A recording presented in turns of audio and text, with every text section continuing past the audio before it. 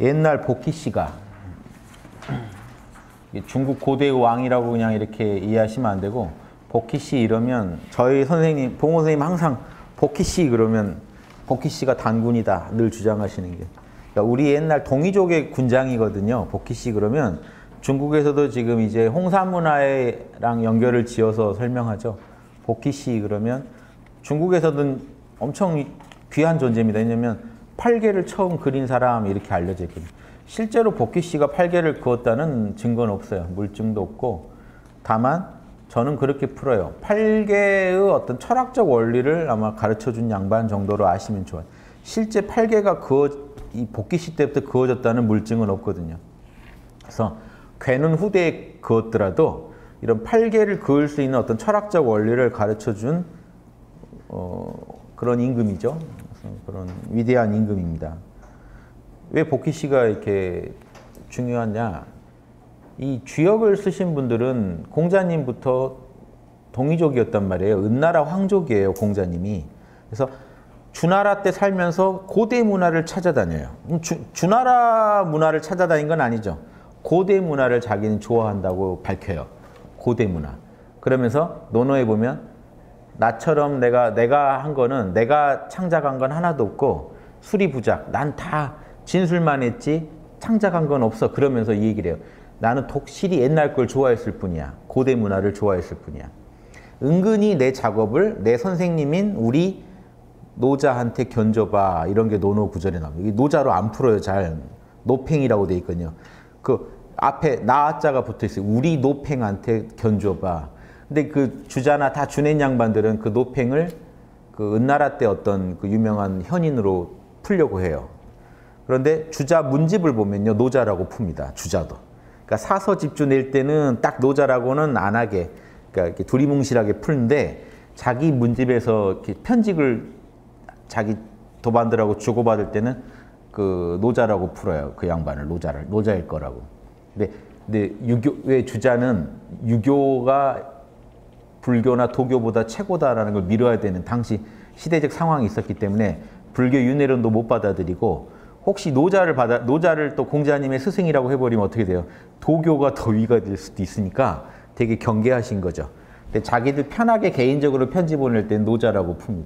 그래서 이 아이디어도 주자한테 얻은 거예요. 어, 이게 노자일 수 있구나.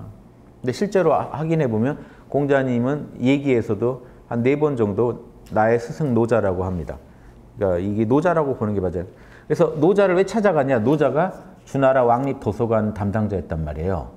노자한테는 고대 문화에 대한 많은 정보가 있었어요. 그러니까 당시 도서관 담당자라고요. 많은 일반인이 볼 수 없는 글을 보고 있는 거예요. 그래서 노자한테 찾아가서 배운 겁니다. 공자님. 자기, 자기가 증언하자. 나는 옛 문화를 좋아하는 사람일 뿐이다. 그 옛날이 언제냐? 은나라 황족이란 말이에요. 은나라 때 문화를. 은나라 때 통치 철학에 대해서 공자는 좋아했고 그 은나라 때 통치 철학은 어디서 온지 아세요? 은나라에서 제일 숭배한 도인이 도인 군주가 순임금입니다. 요순. 그러니까 요순 은나라 문화를 공자님이 일단 고대 문화로 보고 연구하신. 그래서 근데 요순 그 은나라의 문화라는 건 결국 양심 철학이죠. 그것도 은나라도 양심 어겼다 망했죠. 그래서 공자님이 우, 막 우시면서 은나라 그 망한 것에 대해서 늘 슬퍼하시면서 민심이 떠나면 그렇게 망하는 건데 정치를 잘못해서 그렇게 됐다면서 늘 슬퍼하셨. 은나라 사람들을 만나 이제 그 은나라 사람들 소식을 들으면 공자님이 슬퍼하면 그러니까 본인이 황족이라. 그래서 그런 그런 공자님 제자들이 주역에서 복희 씨를 맨 앞에다가 거론하면서 이야기 시작한다는 것은 동의적 전통으로 보셔야 돼요. 왜냐 사마천 사기부터 그 중국에서 딱 자기들의 혈통줄을 잡을 때 역사적 그 이런 원류를 어디다 잡냐 황제한테 잡아요. 근데 복희 씨는 황제 이전의 임금입니다. 그러니까 지금 주역에서는 복희부터 시작해. 황제가 저 나중에 등장해. 문화를 만든 존재로서 지금 중원에서 누리는 문화는 복희가 만들었다고 본 거예요. 공자님과 공자님 제자들은 공자 공자 학파에서 만든 거거든요. 요 주역 개사전이 공자 본인이 다 쓴 게 아니라 공자와 공자 학당에서 만든 거예요. 개사전에서 복희시부터 시작하는 건 되게 의미가 있습니다. 사마천은 그 황제부터 시작하는 거죠. 역사의 시작을 황제부터. 그래서 보세요. 이 유교 문화는 요순 요순 문화를 제일 정통으로 보기 때문에 황제도 더 아래로 봐요. 그래서 주역에서 복희 씨부터 이야기 시작하죠. 서경에서는 어디서부터 시작합니까? 요순부터. 요순부터 시작이에요. 그러니까 황제를 그렇게 우선시하지 않아요. 그 황제를 거론할 바에는 복희를 거론해요. 그리고 실질적으로 은나라 문화의 시조인 요순부터 서경을 시작합니다. 요거를 보시면 주역과 그 주역 이야기 이런 걸 다 서경 이런 걸 관통해서 보시면 육아의 어떤 그 고대 문화, 육아에서 추구했던 고대 문화가 뭔지 조금 느낄 수 있습니다. 그래서 복희가 그러니까 복희 씨가 실제로 이렇게 했다는 증거는 없는데 여기서 우리가 읽어내야 되는 건 육아의 선비들은 자기들의 문화의 원료를 어디다 대고 있다고요? 복희한테 대고 있다. 황제한테 되는 게 아니라 복희한테 되고. 지금은 모든 걸 황제가 만든 걸로 다 돼 있습니다. 왜냐하면 그 중국 사서에 다 황제가 모든 걸 한 걸로 회통이 됐거든요. 황제가 우리 시조다 해가지고. 그런데 홍사 문화가 발견돼 버리니까 어떻게 돼요? 황제보다 이전에 황제 문화의 원형이 발견돼 버린 거예요. 중국에서. 고조선 사실은 지금 고조선 문명에 가까운데 지리적으로는 중국에서는 자기들 문명의 시작으로 봐야 되니까 고조선도 거기서 나갔다. 홍산 문화에서요. 그리고 홍산 이전에 또 문화가 있어요. 만년까지 올라가는 그 문화에서 고조선도 나갔고 황제도 거기서 나왔다. 이렇게 설명합니다. 즉 황제 이전의 문화를 설정해요. 중국 동북공정 이후 다양한 공정에서는. 그러면 이 얘기 가까워진 거죠. 오히려 주역에 가까워진 거죠. 황제 이전에 복희가 있었다는. 이게 결국 홍산 문화의 리더들이고 우리 선생님이 예전에 예전부터 복희는 단군이야 하고 자꾸 우리 동이족의 군장이야. 단군이란 말하면 여러분 재미없어요.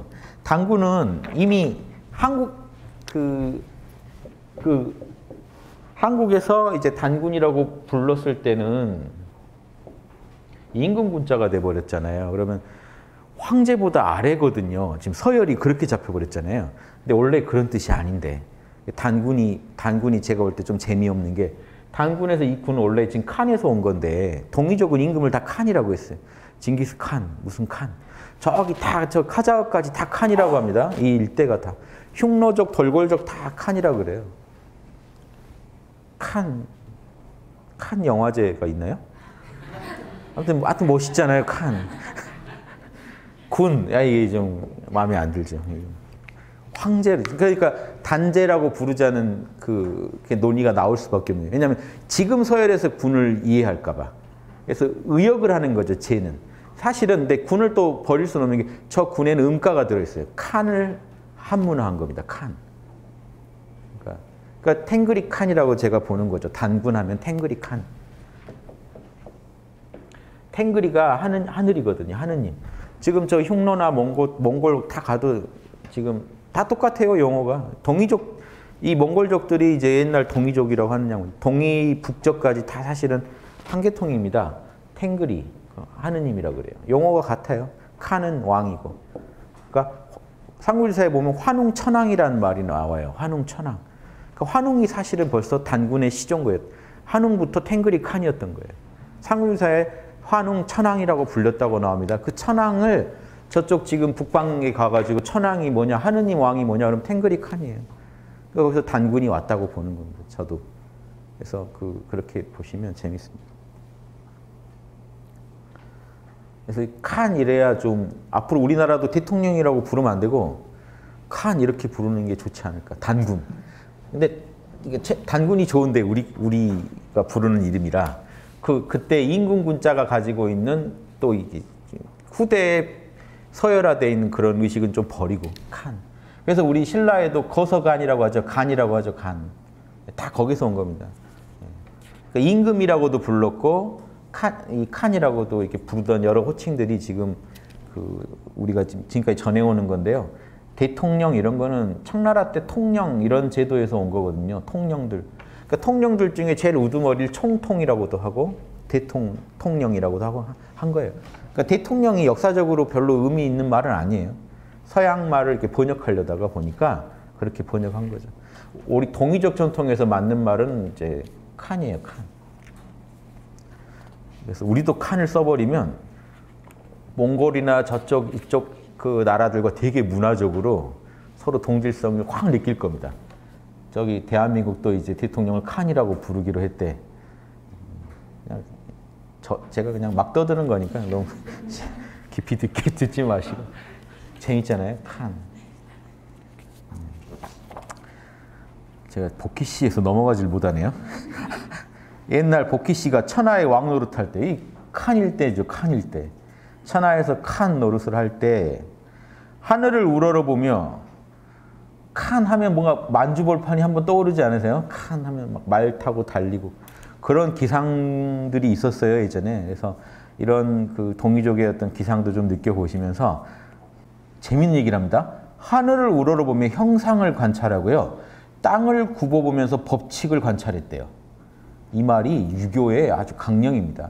유학의 강. 공자님도 이거 가지고 다 연구한 거예요. 이런 고대 문화의 흔적을 찾아내 가지고 주나라 때 당시 복원하신 그 보살이에요. 군자고 공자님도.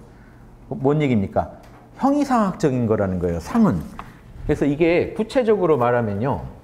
구체적으로는 땅에서 관찰되는 건 법칙이고 우리 지상에서 관찰되는 어떤 결들은 법칙이고 하늘에 별들이 있죠. 이렇게 별들이 보이는 이건 상이라고 하는 거예요. 그래서 천상열차 분야지도 있죠. 우리 지금 그 만 원짜리 뒤에도 천상열차 분야지도 그려져 있죠. 하늘에서는 상, 땅에서는 법. 그런데 우리가 또 이제 이것도 있죠. 땅에 있는 건 형체 아닌가 하는 거죠. 형, 상. 하늘에선 상, 땅에선 형도 있습니다. 주역엔 이 말도 나오고 이렇게 짝도 되고 이렇게 짝도 돼요. 그럼 뭐겠어요? 형이라는 거는 사물이에요. 사물. 개별 사물. 법칙은요. 보편 법칙.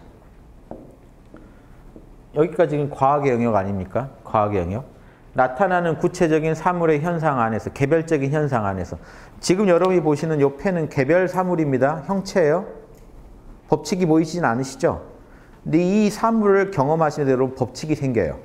뚜껑을 어떻게 닫아야 잘, 달, 잘 닫히더라 이런 법칙이 생겨요. 이거는 어떤 원리로 만들어졌더라. 그러니까 사용의 법칙이건 제조의 법칙, 법칙들이 나오죠. 그게 다 보편 법칙입니다. 그래서 형이 있으면 반드시 법칙이 있어요. 사물이 있으면 원리가 있어요. 그런데 하늘에 있는 상이 상징하는 건 이거는 시공을 초월한 예, 그 형상. 그래서 근본 원리를 상징합니다. 그러니까 하늘의 별도 별자리도 상징하지만 고대 하늘의 별자리가 상징하는 건 형이상학적인 진리였어요. 그러니까 지상에서는 만져볼 수 없는 이 현상계를 초월해 있는 그리고 이 지상에 있는 모든 존재들의 근원이 되는 또 이 별이 빛이죠. 빛으로서의 어떤 그림. 이런 게 우리 영, 영적인 것으로서 영적인 진리로서 존재한다고 본 거예요. 그러니까 태양이 눈에 보이는 하느님이었듯이 별은 눈에 보이는 진리였던 거지. 그래서 상이라고 이름은 붙였는데 철학적으로는 저 상이 의미하는 건 별자리 또 어차피 물질이잖아요. 물질이거나 이 형이하학적 존재물이잖아요. 그게 아니라 저 상이 상징하는 건 형이상학적인 근본 원리입니다. 그래서 보세요. 이렇게 설명드리면 이해가 쉬울 거예요. 복희 씨가 결국 팔개를 그은 사람으로 인정받는 이유가 이겁니다. 이런 거를 가르쳐 준 거예요. 철학을. 인민들한테, 민중들한테 이 철학을 가르쳐 준 거예요. 단군으로서. 형체는 산이죠. 그럼 산에는 어떤 법칙이 있겠죠. 그 법칙이 하늘에 이 하늘에 이미 정보가 있다는 산을 만들어낸 근본 원리가 있고 보편 법칙이 있겠죠. 그럼 이 보편 법칙에 대해 산은 산은 어떤 존재니라는 것도 가르쳐 주되 산에서는 어떤 짓을 해라 어떤 짓을 하지 말아라. 그이이 상이 있다는 걸 가르쳐 주고 싶어서 괴를 이렇게 그려준 거예요. 이게 지금 산을 상징합니다. 기호로 그려준 거예요. 여러분 이건 거의 외계인 문자 아닌가요? 이거 우주선에 이거 달고 다니면요 괴로 막 그려가지고 외계인들 문자 같죠. 이게 원래 상은 말로 할 수가 없습니다. 시공 없는 세계라. 이거를 법칙 이 표현해 준 게 이거예요. 상을 우리가 알아먹을 수 있게 즉 별자리가 눈에 보이지 않는 진리를 눈에 보이는 것으로 이렇게 대변하듯이 눈에 보이지 않는 산의 진리를 이렇게 괴로 그려놓은 거예요. 이 괴가 이제 법칙화돼서 현실 안에서 형체로 구현되는 거예요. 산이라는 구체적인 물. 복희 씨가 이런 철학을 가르쳐 줬기 때문에 8개의 창시자로 지금까지 이제 그 칭송받는 거, 받는 겁니다. 실제 8개는요. 역사적으로는 은나라 말기나 주나라 초에 와서나 괴, 괴가 꼴이 나와요. 그러니까, 그러니까 주역점을 본격적으로 치고 주역에 나온 시초점을 본격적으로 치고 그때만 해도 은나라 말 주나라 초기만 해도 점을 쳐서 이렇게 음은 이렇게 하고 양은 이렇게 그려가지고 이렇게 이렇게 지금 점이 뚝뚝 끊어지지 않았고 그때만 해도 은나라 말 주초만 해도 이렇게 그렸습니다. 이게 음, 이게 이게 양, 양음, 양음. 그러니까 지금 그러니까 딱 복희 씨가 우리가 아는 팔계를 딱 정확하게 기호로 다 그렸다라고 보시면 그건 아직 물증이 없습니다. 증거가 더 나와봐야 아니까 저도 뭐 확답은 할 수 없습니다. 현재 현재 나온 역사적인 유물 가지고 얘기하면 그런 저런 전법이 유행한 거는 은나란 말 주초인데 이런 철학적 원리를 복희 씨가 가르쳐줘서 됐다라고 전해왔던 것 같아요. 우리 같으면 환웅이 천부경을 가르쳐줬어. 이렇게 그냥 전해오듯이 복희 씨가 이게 주요 8개를 가르쳐줬어. 근데 아까 이 8개가 대단한 게요. 보세요. 근본 원리는 시공을 초월한 원리인데 이게 보세요. 이렇게 하면 지금 우리나라 태극기가 근본 원리를 그려놓은 거예요. 태극이잖아요. 태극은 우주가 나온 클태자 꼭지점 극자기 때문에 이거 엄청난 얘기 태극은 온 우주가 나온 그 꼭지점을 그려놓은 거예요. 여기서 우주가 다 나와. 이게 빵 터져서 빅뱅 이론 아무리 까불어봤자 이, 저 태극이 빵 터져서 우주 나왔다는 거예요. 우리 태극기는 터질 때 그 안에 어떤 팔개를 갖추고 있었냐? 이게 이제 건, 곤, 리, 감. 요게 이제 팔개 중에 네, 대표적인 정방위 네 개만 해놓은 거예요. 나머지 이제 괴들이 있죠. 즉, 이 나누면 양과 음이고 쪼개면 오행. 여기 여기 쪼개면 오행이고 한 번 더 쪼개면 팔개가 되는 거예요. 이걸 더 쪼개면 64개도 되는 거죠. 그런데 딱 줄여서 말하면 그냥 태극. 하나로 말하면 태극. 쪼개면 음양. 1과 0. 1과 0. 1과 0이 쪼개지면 끝도 없죠. 어마어마한 조합이 가능하죠. 그래서 헤아릴 수 없는 조합이 이 텅 빈 공 안에 다 들어있다는 거예요. 주자도 이걸 주장합니다. 텅 빈 혼연일체, 나눌 수 없는 이 에너지 안에, 태초의 에너지 안에 우주의 진리가 다 들어있다. 우리나라는 그걸 딱 태극기로 나라 국기로 만든 거예요. 이것도 지금 골 때리는 겁니다. 전 세계에서.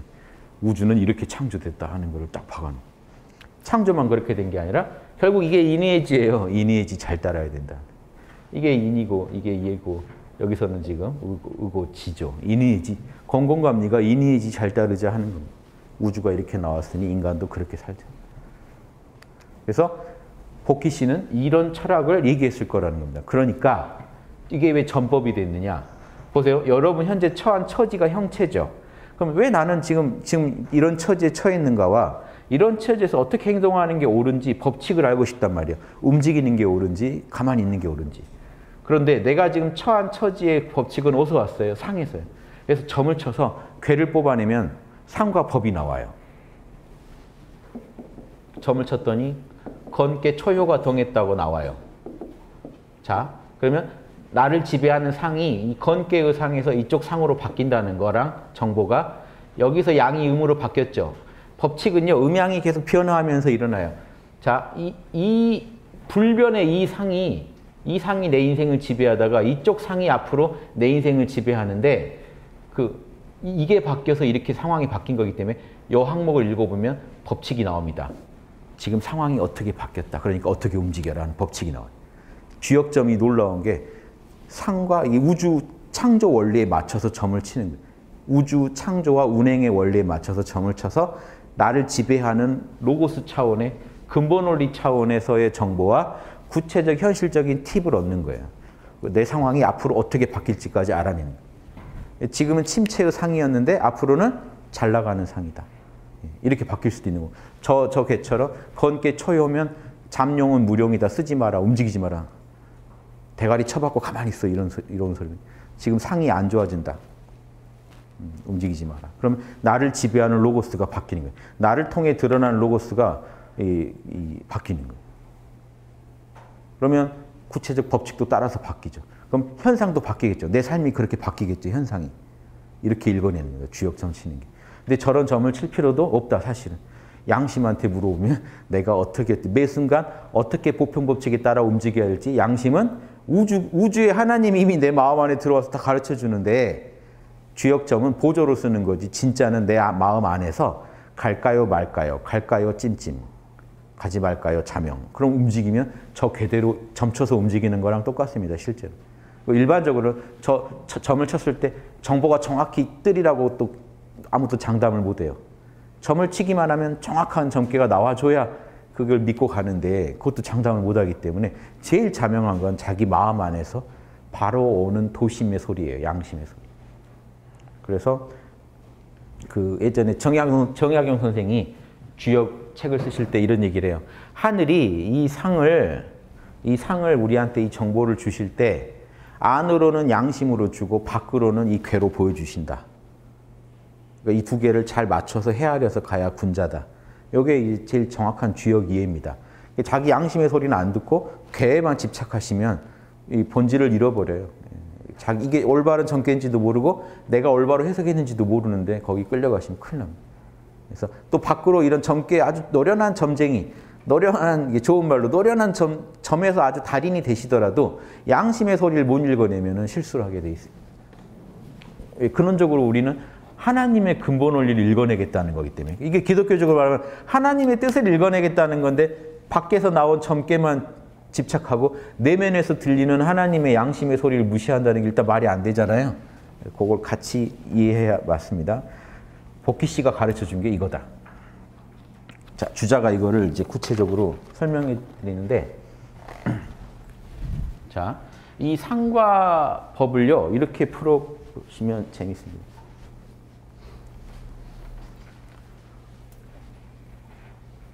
오늘 불교 공부하시는 것 같으세요? 유교 공부하는 것 같으세요? 모르시겠죠? 구공을 공부하시는 제가 이제 구공 강의를 할 때 유교 경, 유교 것도 많이 갖다가 읽어드릴 거예요. 왜냐면 아까도 말씀드렸지만 유교는 구공에서 탁월한 그 성과물을 갖고 있어요. 왜냐? 불교는요. 불교가 대단해 보여도 일체 유심조만 자꾸 얘기 그럼 법공까지 얘기만 많이 하고 있는 거예요. 아공, 법공 얘기만. 이상이 무상하다, 열반에 들어야 된다, 일체는 마음이 만들었다, 이 얘기만 계속 하고 있어요. 대부분의 이야기가 거기에 허비됩니다. 그래서 어떤 원리로 우주 만법을 만드셨는데요. 요 얘기는 잘 안 나옵니다. 그거는 주역 보셔야 나와요, 사실은. 주역을 보셔야 나오고, 그러면 보살은 현상계에 보살이 뛰어들어서 어떻게 행동해야 육바라밀을 잘 실천하는 건데요. 여러분, 실제로 원하는 건 육바라밀의 실전 팁이잖아요. 유교에 들어있어요. 불경에는 별로 없어요. 왜냐? 불경 얘기들은 대부분 환타지하게 나오기 때문에 육바람의 실천 팁을 여러분 얻으실 수가 없어요. 막 보살들이 하늘나라에서 제석천 만나서 이렇게 했다. 이걸 어떻게 적용하실 거예요, 일상에서. 유교를 파야 공자님도 욕 먹고 막 이런 게 나옵니다. 그래야 이제 아 이게 직장에서는 이렇게 해야 되는구나. 여러분 논어가 지금까지도 부동의 일입니다. 고전 중에. 진짜 많이 팔려요. 지금도. 그래서 사람들이 다 저더러 왜 논어 안 쓰냐고. 저는 아주 얇은 논어만 냈잖아요. 논어를 왜 이렇게 보실까요? 음. 인간 인간관계에 꼬이면 논어를 뒤지고 계시다니까요. 보편 법칙을 찾으려고. 제가 아는 분도 그래요. 그, 아, 공자님 논어 이런 거 무시하시던 분이 제가 아는 분, 그 와이프 분이 무시하시다가 본인이 딱 이제 팀장이 딱 회사에서 팀을 맡으니까 논어를 딱 꺼내서 어서 구해서 귀신같이 또 논어를 구해서 읽고 계신. 이제 이해를 해야 되거든요. 이제 다른 사람 마음도 이해를 해야 되고 이제 팀원을 끌고 가야 되고 본격적인 육바람일 공부가 시작되는 게 사실은.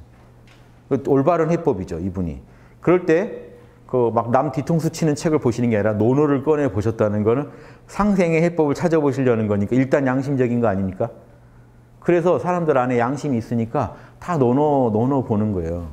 그걸 단순하게 막 협상의 기재가 되는 법, 막 이런 식으로만 해가지고 꼼수로 해결하려고 덤빌 수도 있어요. 인간관계의 기재가 되는 법. 그럼 대부분 보면 그 욕심 가지고 서로 밀당하고 이런 내용이거든요. 그런데 논어를 찾으셨다는 건요, 사람 안에 이왕이면 나도 좋고 남도 좋게 문제를 풀고 싶은 양심이 작동하시는 거예요. 그때 도움을 드릴 수 있는 그 고전들이 있으면 좋겠죠. 그런데 불경보다는 사실은 그런 부분에 있어서는 유교가 강하다는 서양 철학이나 유교가 강합니다. 왜냐? 실전 속에서 선악을 따지는 데서는 그쪽이 더 잘해요. 왜냐? 불교는 실전에서 선악을 따지려고 하면 뭐라고 하냐면 무상하다. 고, 고해로다. 이래버리면 따지다가 내려놓고 열반에 들어요. 그러니까 깨어나게 하는 데는 되게 도움이 돼요. 그러니까 저희 홍익학당에서는 합쳐서 가르치는 앞부분에서는 불교가 사람을 깨어나게 하면 뒷부분에서는 유교가 이미지, 양심 실천, 양심 분석에서 실전 팁들을 제시해 주면서 이게 하나가 되는. 그럼 불교는 그런 그, 그 고수의 가르침이 없었나요? 아니요. 화엄경 십지품안에 십지가 되는 과정이 다 소개되어 있는 건 또 불교잖아요. 이게 서로 어우러져야 된다는 거예요. 불교에 없는, 없다는 게 아니라 십지경이 뼈대만 세워놨지 그 십지까지 가려면 오지는 어떻게 양심 분석하고 사지는 어떻게 분석 이런 분석의 구체적인 내용은 별로 없다니까요. 왜냐 다 출가해가지고 그냥 설법만 하고 다니신 내용만 있어요. 설법했더니 감화됐다. 근데 지금 우리가 다 설법만 하고 다닐 수는 없잖아요. 실전에 들어가서. 그럼 화엄경에서 벌써 나와요. 중생의 모습을 하고 살아가는 수많은 보살들이 나와요. 왕도 나오고 장사꾼도 나오고 다양하게 나오죠. 유마고사는 그러면 장사를 어떻게 했을까요? 그런 실전적 내용들이 분명히 대승불교에서 제시는 되는데 구체적인 팁은 안 나온다는 거죠. 왜냐? 그 경전이 너무 현실성 없는 내용들이 많거든요. 그러니까 전하고자 하는 메시지가 상당히 좀 판타지한 방식으로 펼쳐져요. 그러니까 여러분 장사 잘해야지 하면서 유마경을 계속 읽으시면 좀 당장 실전 팁이 안 나옵니다. 거기서. 좀, 좀 그렇죠. 유마경은 벌써 이미 도인으로서 막 행동을 하시지 약간 현실, 현실에서 만나기 힘든 사람이 이미 그 캐릭터 자체가 그런 부분들에서 노노맹자를 보시는 게 좋다 하는 거 제가 예전부터 권해드리는 방식. 그런데 우리가 노노맹자를 그냥 보시면 또 잘못하면 또 꼰대 하나가 출연하고 보살이 나와야 되는데 또뭐 극강의 꼰대가 하나 나오고 끝납니다. 맹자왈 이래버리면 이제 남 지적만 하고 다니는 분이 나오니까 노노맹자를 읽을 때 어떻게 읽어낼 거냐 그 부분을 말, 저, 지금 말씀드린 거예요. 구공 연구기로 읽으셔야 된다. 노노맹자를 구공 실전 연구기로 읽으셔야 된다. 그러면 유교도 거듭나는 거예요. 지금 조선시대부터 유교 공부를 우리가 얼마나 했는데 유교를 또 공부하라는 말이냐. 불교는 뭐 몇천 년 했는데 왜 제가 또 다시 하라고 하겠어요. 새로운 안목으로 접근하시면 새로운 진리가 보입니다. 구공의 영국이에요. 그래서 이 노노나 이 공자나 맹자나 이 많은 이 철인들은 성인들은 사, 사로운 뜻으로 무슨 꼼수와 이런 꼼수와 아집을 가지고 문제를 풀어보신 분들이 아니라 소크라테스를 포함해서 자기 양심의 소리대로 한번 문제를 부딪혀서 풀어보신 분들이에요. 그 경험 속에서 우리는 엄청난 실천 팁을 얻습니다. 그런데 이거는 좀 기본으로 아셔야 될 게 아까 대본과 달도 얘기했죠. 요 대본을 근본 원리 달도를 보편 법칙 그랬단 말이에요. 이거를 주자가 명쾌하게 잘 정리를 해줍니다. 소이연. 소이는 만물의 까닭이라는 겁니다. 근원. 그리고 소, 당. 요건 좀 이해가 쉬우시죠? 당연이란 말은 지금도 우리 쓰니까. 소이가 뭐냐 하면 원, 까닭이 뭐냐 이런 뜻이고요. 그 합당한 바, 마땅히 소당연, 마땅히 그러한 것. 마땅히 그러한 바는 뭐냐? 말이 좀안 와닿으실 수 있지만 그걸 제가 풀어드립니다. 보편 법칙. 또 어떨 때는 실천 법칙. 두 가지 의미, 두 가지 뜻을 다 알아두시면 좋아요. 왜냐하면 존재 문제나 당위의 문제가 다 보편 법칙의 문제예요. 즉 존재는 어떻게 생겨 먹었냐? 자, 자 물리 세계에서는 존재 문제가 크죠. 즉 어떻게 굴러가고 있냐, 어떻게 존재하고 작동하느냐 그 보편 법칙이고요. 당위는 뭐냐면요. 인간의 문제 오면요. 인간의 문제는 또 이게 많아요. 당위의 문제. 즉 어떻게 해야 되느냐 내가 이거죠. 이해되시죠? 어떻게 해야 되느냐. 자, 내 몸뚱이는 어떻게 생겨먹었냐? 그럼 나는 건강해지기 위해서 어떻게 해야 되느냐? 존재와 당위의 문제가 다 있죠. 다 보편 법칙이. 형이, 상, 형이 하의 세계에서 마땅히 그렇게 하는 게 옳다 하는 건 다 보편 법칙입니다. 소당연의 보편 법칙. 마땅히 그러해야 할 것. 그러니까 형이하의 세계에서는 마땅히 그렇게 해야 자명한 것들이 있어요. 마땅히 그렇게 해줘. 물은 아래로 주자가 어떤 예를 들면 물은 아래로 흐르고 불은 위로 타오르고 그 물리 물리 법칙이죠. 소당연의 세계. 다. 소이연의 세계는요. 요거는 형이상학적인 근본 원리입니다. 근본 원리. 이거는 시공 안에 없어요. 자취가. 이거는 시공 안에 반드시 잡으세요. 보편 법칙은 반드시 형상화된다고 그랬죠. 이 소당연의 세계는 이 형체화됩니다. 현상으로 나타나요. 자, 마무리 동양식 그 창조론을 전개해 볼까요? 주역의 창조론은 아까 말씀드렸어요. 태그가 안에 태그가 안에 이런 진리, 태극 안에 이런 진리가 들어있다가 이 진리가 법칙, 법칙을 통해서 구체적으로 이런 현상, 사물을 만들어냅니다. 이렇게 창조가 돼요. 하나님 마음 안에, 자, 태극은 동양에서 하느님이죠. 하느님 마음 안에 진리가 들어있다가 근본 원리가 들어있다가 이게 우리가 아는 음양, 오행, 예, 그 팔괴 이런 진리가 들어있다가 그 진리, 진리가 시공 안에서 일정한 법칙을 형성하면서 만물을 만들어냅니다. 됐죠? 우리는 이 원리에 따라 살아가야 되는 거고. 그래서 자 히, 중용에서 말하는 희노애락이 없는 세계, 즉 시공을 초월한 세계, 어떤 육군의 작용, 몸과 마음에 어떤 작용도 없는 세계에 들어가면 천하의 만물의 큰 뿌리가 되는 진리가 음양, 오행, 팔계가 들어있다 이 소리입니다. 그때 보니 근본 원리, 소위연이고 희노애락을 실제로 굴리면서 양심껏 잘 자명하게 굴리는 건 조하고 그게 모든 인류가 걸어야 할 공통된 길이다. 그럼 이게 뭐냐면 마땅히 그래야 할 당위 법칙이라는 인간은 마땅히 희노애락을 잘 경험하면서 살아야 된다. 이게 다 끝, 이게 공부 다예요. 이게 자, 이게 왜 동양에서 이걸 주역이라고 했냐? 소이어는 불변의 태양입니다. 소당인의 세계는 변화하는 달이에요. 합치니까 뭐죠? 역, 역, 음, 양. 그러니까 이 동양인들은 우주를 볼 때 여러분이 보는 저는 변화하는 저죠. 달의 저예요. 달에 상징하는 것은 변화입니다. 계속 변화해요. 커졌다 작아졌다 커졌다 작아졌다. 태양은요. 변치 않아요. 동그랗게 그려놓습니다. 지금 우리 학당 로고가 저기 각골문에서 태양이에요. 동그란데 점 하나 딱 찍어놓습니다. 그래서 재밌는 게그 이제 지금 원래 달 달은 이렇게 그렸어요. 달은 달의 각골문 이렇게 그렸어요. 태양은 이렇게 그리고 달은 이렇게. 근데 지금 달은 두 선 두 개를 그어놨죠. 그래서 뒷사람들이 양은 홀수니까 그 태양에는 점 하나, 달은 음, 이 짝수가 음이거든요. 음이니까 짝수를 그었다 이렇게. 아무튼 여러 가지로 이, 이 해와 달 안에서 찾아냅니다. 일거림. 그래서 해와 달 해가지고 예, 음 양 이게 우리 존재를 다 설명하고 있는 거야. 눈에 보이는 세계는 달의 세계예요. 절대계. 아니 현상계. 그럼 눈에 안 보이는 세계는요. 태양의 세계. 현, 이 절대계가 있어요. 여러분 내면의 절대. 그래서 여러분이 지금 우리가 서로 서로를 보고 있는 거는요. 눈에 보이는 세계만 보고 있는 거예요. 형체와 그 형체를 굴리고 있는 법칙만 보고 있는 거예요. 그래서 과학의 영역에서 연구하는 건 형체와 법칙만 연구해요. 철학의 영역은요. 상을 연구해요.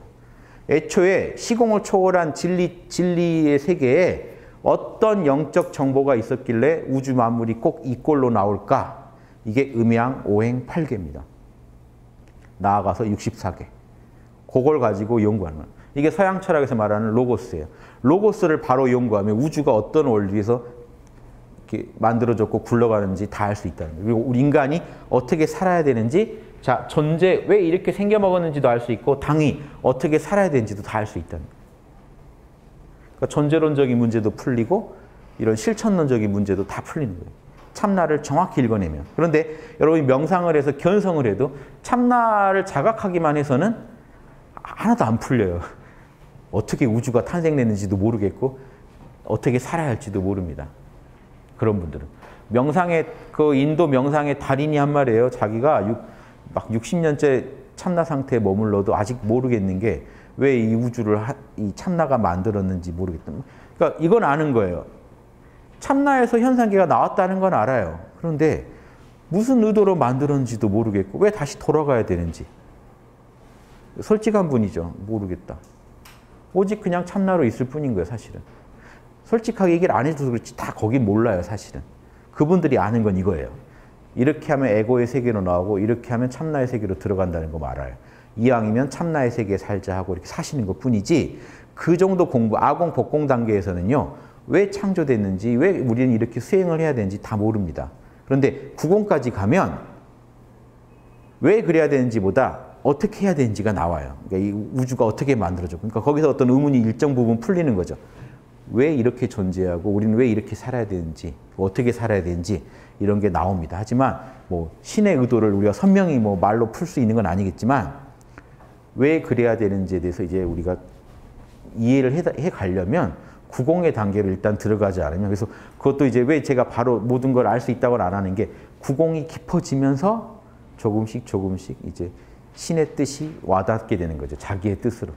왜냐? 자기가 본래 신이니까. 자기가 본래 참나니까 자기 내면에서 문제를 하나씩 풀어가는 거예요. 나는 왜 이렇게 살기를 지향하지? 이런 거를 이제 진짜로 이렇게 살면서 조금씩 알아가지 뭐 한 번에 다 풀린다는 것보다 일차적으로 뭘 알아요? 어떻게 어, 나는 어떻게 존재하고 나는 어떻게 살아야 되는지 이런 걸 이제 풀어가는 그러다 보면 이제 왜, 왜 우주는 왜 이런 식으로 굴러갈까 하는 것까지도 이제 자신이 하나씩 알아내는 어떠세요? 이게 별 얘기 아닌 것 같지만 이 얘기 안에 그 인류의 지혜의 어떤 그 핵심이 결정체가 여기 다 들어있어요. 요거만 아시면 돼요. 형이상의 세계, 형이하의 세계. 그래서 제가 구공을 강조하는 게 보살도는 대승 불교는 여기까지 온 거예요. 초기 불교와 소승 불교는요, 요 내용들이 약해요. 아공에서 열반에서 끝내자는 얘기입니다. 그 만물의 실체를 꿰뚫어 볼 때 어디까지만 꿰뚫어 본지 아세요? 이 보편복지가 근본 원리를 꿰뚫어 보는 건 있어요. 일부분. 어디까지만 꿰뚫어 보냐? 만물이 만물의 실체가 만물의 보편법칙 중에 무상고 무아만 읽어냅니다. 형이하의 현, 형, 형, 체들을 체험해요.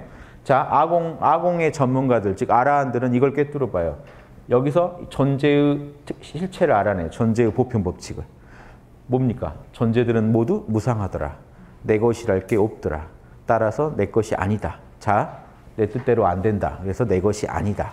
요거를 읽어내고 당위, 실천 속에서 무상고 무아의 원칙을 따르는 삶을 삽니다. 무상하니까 욕심내지 말아야죠. 어차피 괴로운 거니까 현상계 너무 뛰어들지 말아야죠. 출가하는 게 옳죠.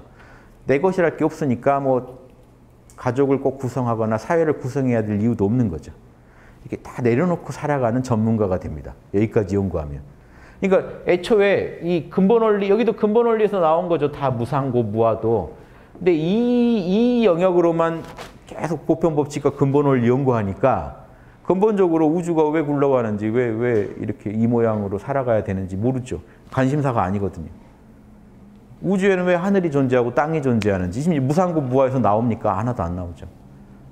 그러면 이제 견성까지 하신 분은 여기에 플러스 법권까지 연구해요. 일체가 참나의 작용이다까지 연구해요. 그러니까 그 보편 법칙을 알아내서 실천 법칙에 활용합니다. 일체가 나의 작용이다. 참나의 작용이다. 따라서 나는 일체를 거부하지 않고 참나의 작용으로 여기면서 살면 된다. 여기까지 연구하시면 여러분 확철대오 하신 분이 돼요. 선불교에서 말한 견성자가 돼요. 근데 이분도 사실 해결된 건 아니에요. 일체가 참나의 작용이라는 건 알지만 참나 안에 어떤 진리가 있어서 저게 나오는지는 설명할 수 없어요. 제가 말씀드렸잖아요. 그분들은 일체가 유전자에서 하는 거예요. 유전자가 모든 걸 결정해요라고 말하는 분하고 똑같다고요. 그런데 유전자 안에 어떤 정보가 있어서 저렇게 나오는 거예요?까지 모르신. 유전자 안에는 게놈 지도를 쫙 만들어서 쫙 보여줄 정도 돼야 그게 주역이에요. 우리 영적인 세계 안에 이런 영적 유전자가 있습니다. 64개를 쫙 돌려서 보여줍니다. 거기서 일체가 나온. 일체 유심조를 얘기하시려면 폐는 어떤 마음에서 나온 건가요? 지금 여러분의. 땅은 여러분의 어떤 마음에서 나온 건가요? 왜 명상에 들었다가 여러분 이, 자 아공 복공의 전문가들은 이건 알아요. 명상에 들면 육군이 사라져요. 다시 현상계 에고가 일어나면 어떻게 돼요? 현상계 들어오면 육군이 딱 나타나요. 이것만 알아요, 이분은. 그러니까 현상계가 자 육군이 무상고 무하다는 얘기만 해요. 육군의 실체를 여기까지 접근합니다. 육군은 무상고 무하다. 아공. 법공 전문가들은 어디까지 접근해요? 육군은 사실은 참나의 작용이다. 그게 실체다. 실체에 꽤 접근했죠. 보살은 어떻게 접근해요? 육군은 우리 몸, 우리 참나 안에 있는 음양 오행의 원리에서 나온 거다까지 설명을 하는 그래야 육군이 어디다 쓰는 물건이고 왜 육군이 나올 수밖에 없었는지 알게 된다고요. 왜 창조하면 육군이 반드시 등장할 수? 왜 보세요. 여러분 명상에 들었다 참나 상태에서 나올 때 좀 다른 게 나와도 되잖아요. 얄짤없이 육군이 나옵니다. 한 7근이 나온다든가 5근이 나와도 되잖아요. 명상의 세계 들었다 나올 때는 딱 공식대로 육군이 등장합니다. 어떤 법칙이 있어요. 거기까지 접근을 못하는 거예요. 아공 법공만 연구해서는. 구공까지 연구해야 음양오행의 원리 때문에 저 인도나 서양식으로 말하면 지수화풍의 원리 때문에 딱 그거밖에 안 나오는 거예요. 지수화풍의 공식 때문에 펼쳐지면 육군이 나오는 거예요. 간단하게 이런 공식도 얘기 드릴 수 있어요. 자, 만물이 입체적으로 굴러가려면 여섯 개가 필요하죠. 중심점 빼고요. 하나, 전, 상하, 전후, 좌우. 입체물이 되려면 현상계 안에서 입체로 작용하려면 여섯 점이 필요합니다. 중심 중심에서. 즉 참 그냥 저기 없으면 참나로만 있어요. 열반으로만 있는 게 여섯 여섯 점을 가져야 현상계 안에서 입체물로 작동을 해요. 이게 육군이 등장하는 거예요. 꼭. 이런 공식들을 알아가는 게 구공이에요. 구공의 세계로 들어가지 못하면 그래서 불교분들이 서양 철학 무시합니다. 그 일체를 버리지 그 열반에 들어야지 그 뭘 그 막 시시콜콜하게 이럴 땐 뭐가 선이냐 뭐가 진리냐 왜 저지랄하고 있지? 그 그게 장자에 나오는 그거랑 똑같은 예죠. 참새나 이런 애들이 막몇 마리 날아가는 새를 보면서 쟤는 나는 이 나무만 오르내려도 너무 딱 만족하는데 쟤는 왜 몇 마리를 날아갈까? 이해가 전혀 안 되는 거예요. 다른 차원의 얘기예요. 진짜 다른 차원의 얘기예요. 소크라테스가 위대하다는 것을 불자들이 이해하려면요. 몇 번 임사 체험을 해요. 몇 번, 한 번 모든 걸 비우고 살아나고 비우고 죽었다 살아나고 죽었다 살아나고 해야 돼요. 영적으로. 안 그러면요. 우주의 진리가 이렇게 다르마가 읽히는 경지로 못 가면요. 그렇게 못 살아요.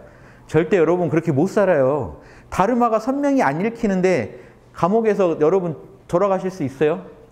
그분이 객기로 돌아가신 게 아니에요. 객기로는 죽을 수 있어요. 객기로는. 여기서 내가 멋지게 죽을 거야. 왜냐 일본에 그런 객기 부린 분들 많았어요. 할복이 유행일 때 나는 남들은 이렇게 그을 때 난 이렇게 하고 한 번 더 올릴 거야. 늘 그것만 준비합니다. 시뮬레이션 엄청나게 해요. 막상 찔렀을 때 아플 수 있잖아요. 그걸 이겨내고 정신 수양을 통해 이겨내고 남들이 이렇게 할 때, 아, 할복 잘했다 할 때, 한 번 더 하면, 와, 이건 진짜 최고의 할복이다. 진짜 이렇게 그 당시 사무라이들은 연구했어요. 멋지게 죽으려고. 막 벚꽃이 떨어질 때, 멋있게 죽는 게 로망일 때가 있어요. 그럼 객기로 죽을 수도 있어요, 사람이. 소크라테스가 객기로 죽었다면 위대할 게 없습니다. 그 당시 더 멋있게 죽은 분들 많아요, 장렬하게. 역사상 장렬하게 죽으신 분들 많아요.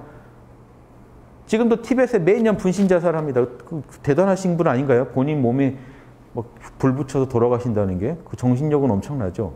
근데 지금 그런 차원이 아니에요. 소크라테스가 역사에 파문을 던진 거는 단순히 죽어서가 아니라 진리 때문에 죽었어요. 진리에 입각해 살다가 죽었어요.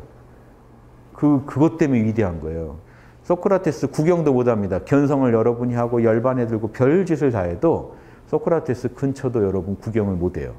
다르마를 읽어낼 수 없으면 현상계가 어떤 다르마에 의해서 굴러가고 있고 나는 어떻게 그럼 그 다르마에 따르려면 나는 어떻게 처신해야 되는지 요 답을 목숨을 걸고도 난 이게 진리다라고 선언하시려면 기독교식으로 말하면 이게 하나님의 뜻인 거를 목, 나는 순교를 각오하고라도 나는 이 뜻을 너무나 명확히 알기 때문에 따르겠다. 이게 진짜 순교고요. 객기로도 할 수 있다니까요. 순교는. 그런 차원이 아니라고요.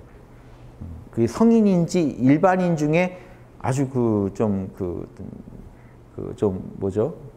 못 견디는 분 그런 거 못 참고 막 난 진짜 죽을래 하는 분도 있는 거고 혈기의 그 맹자에서 이걸 이렇게 구분해 혈기의 용기와 의리의 용기로 구분해요. 의리의 용기는 그게 진리라서 거부할 수 없어서 따르는 거고 혈기의 용기는 본인의 그 에고에서 오는 어떤 자존심 센 사람들 진짜 나 목, 나 죽을 때 죽더라도 그거 못 참아 하는 분들이 있어요. 그거를 구분해서 보셔야 되는데 그게 진리를 읽어낸다는 게 가진 그 힘, 힘에서 옵니다. 그걸 좀 생각해 보시면 진리를 안다는 게 쉬운 얘기가 아니에요. 그래서 제가 제일 강조하는 게 육바라밀인 이유가 뭐냐면요. 단학도 좋고 견성도 좋고 다 좋아요. 왜 육바라밀을 제가 제일 강조하느냐? 그 진리를 읽어내시는 눈이 생겨야 진리의 눈이 열리세요. 그러면 그때부터 이 우주는 다른 차원이 됩니다. 어떤 힘든 일이 오고 뭐가 와도 난 육바라밀로만 상대하면 그만이에요. 우주의 모든 문제를 육바라밀로 해결하실 수 있어야 되는데 그러려면 육바라밀이 진리라는 걸 읽어내실 수가 있어야 돼요. 그 눈을 갖추기 위해 단학도 하고 에너지가 딸리면 단학을 하고 정신이 깨어있지 못하면 명상을 하고 양심 성찰, 양심 성찰하고 뭐 온갖 연불도 해보고 다 해보는 거예요. 아미타불한테 예수님한테 그 능력을 빌고 싶으면 기도도 하고 부처님한테 빌고 싶으면 관세음보살도 하고 모든 걸 다 해가 여러분 역량을 총동원해서 해야 될 게 다르마를 읽어내는 겁니다. 우주에. 우주의 법만 알면 여러분은 자유를 얻으실 수 있어요. 이게 진리가 너희를 자유롭게 하리라 하는 게 다르마를 알고 하나님 뜻을 알면 자유가 오지. 안 그러면 여러분이 아무리 신통을 갖고 있어도요. 이 신통을 부리는 게 옳은지 그른지를 판단할 수 없다니까요. 여러분한테 초능력이 생겼어요. 이 초능력을 어디까지 써야 될지, 어디다 써야 될지, 이거 다 또 어떻게 결정합니까? 결국은 육바람을 못하면요. 초능력 가진 게 그대로 그 본인한테 엄청난 짐이 돼버려요. 그거 가지고 괜히 안 할 짓까지 하게 됩니다. 돈이 안 생겼으면 행복하게 살 사람이 로또 당첨되는 바람에 가족 다 깨지고 박살나는 집이 많죠. 다 그렇다는 건 아닌데 많죠. 그러니까 감당할 수 없는데 오는 거는요. 이거는 사실 거의 죽으라는 거예요. 돈 관리를 못하는 사람한테 돈이 왕창 생긴다. 이거 큰일 나는 거예요. 그러니까 본인이 안 할 짓까지 하고 다 망할 수도 있어요. 그래서 제일 중요한 거는 이 진리를 아는 거다. 그래서 부처님의 그 본, 본, 본 모습을 뭐라고 합니까? 불교에서. 법신이라고 하죠. 진리의 몸. 예수님은 뭐라고 부르시나요? 예수님은 기독교 안에서 진리요, 진리. 진리의 화신이요. 진리가 말씀이 육신이 된 존재. 예수님은 말씀이라고 하잖아요. 진리 예수님은 그냥 진리 자체야. 이 말이 뭘 의미할까요? 소크라테스처럼 다르마를 진리를 로고스를 정확히 알고 계신 분이라는 거예요. 그대로 사시는 분. 예수님 본인도 항상 나는 하나님의 아버지 말씀대로 말하고 행동해. 난 진리 그 자체야 라고 얘기하잖아요. 나는 길이요 진리야. 본인도 자부하시잖아요. 다 모든 성인들은 진리를 어디만큼 알, 아냈느냐 이게 그 사실은 예수 그 예수님과 이런 사대 성인들 그리고 그런 견성이나 아라한 정도 가신 분들 간의 차이를 그 찾을 수 있는 부분입니다. 그 부분이. 왜 아라한들이 부처가 되는 걸 포기한지 아세요? 아라한들은 절대 부처 욕심 안 냅니다. 아예 박아져 있어요. 경전에. 아라한과 부처는 18가지 절대 공통으로 가질 수 없는 능력이 있다라고 딱 18가지 불공법, 부처님하고 겸상 못하는 거, 공유 못하는 법이 딱 있습니다. 거기 박혀 있어요. 그래서 여러분 남방불교 가서 스님들한테 성불하세요 그러면 그거 욕입니다. 왜냐하면 그 전혀 추구하고 있는 게 아니거든요. 열반에 드세요라고 해야 좋아해요. 그러니까 아라한을 목표로 했다는 건 열반만을 목표로 했다는 거예요. 부처 되는 건 안 바래요. 부처가 되려면 어마어마한 세월을 윤회하면서 닦아야 되거든요. 그런 진리를 꿰뚫어보는 안목을 갖추려면. 그게 차이입니다. 그래서 부처님은 일체지, 일체를 꿰뚫어보는 그 눈을, 그 지혜의 눈을 갖췄다라고. 아라한들은 그게 딸리기 때문에 누가 찾아오건 왕이 찾아오면 아라한들은 열반에 드는 법은 가르쳐 줄 수 있어요. 근데 부처님은 왕이 찾아오면 정치의 도리를 얘기해 줄 수가 있어요. 국정은 이렇게 운영하세요. 요게 연륜의 차이입니다. 아라한은 그렇게 못해요. 다양한 근기가 왔을 때 대접을 못해요. 아라한들은 배운 게 이거예요. 어떤 근기가 오든지 무상고, 무아, 열반 요걸 가르쳐 줄 수 있어요. 부처님은 다양한 근기에 맞게 가르쳐 줄 수가 있어요. 왜? 진리를 입체적으로 알고 있기 때문에. 아라는 입체적으로 알고 있는 게 아니기 때문에 응용이 안 돼요. 이거는 불경에 써 있는 겁니다.